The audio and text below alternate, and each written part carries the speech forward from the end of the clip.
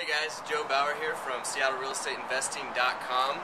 We're going to take uh, another round through this North Seattle rehab and see how far they've come.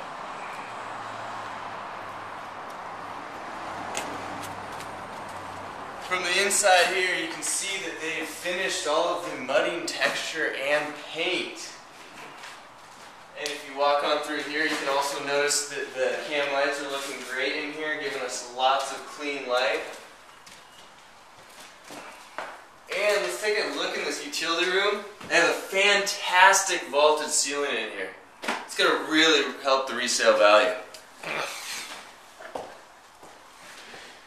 Pretty soon you'll see that there's going to be some cabinetry coming in here. Hopefully in the next couple of weeks we'll get back to you with that one. Um, let's run on upstairs and see what the uh, what the texture and paint looks like up here. Looks like they have railings ready to go in here.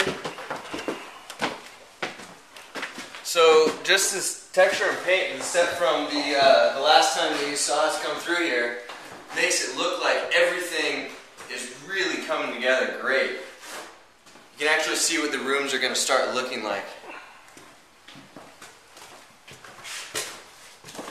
So, come on in. Like I was saying, it looks like you know, you're, you're almost ready to throw some, some beds and dressers in here. We're just going to have to get the floor done and uh, some cabinetry downstairs and then some uh, caps on the uh, electricity work here. And that's about it for the, uh, the update on the rehab here. It looks great. Like I said, paint and texture makes a huge difference and we'll continue to update you in the next few weeks as they finish this project up. So thanks for, uh, thanks for stopping by. Thanks for watching us. SeattleRealEstateInvesting.com. See ya.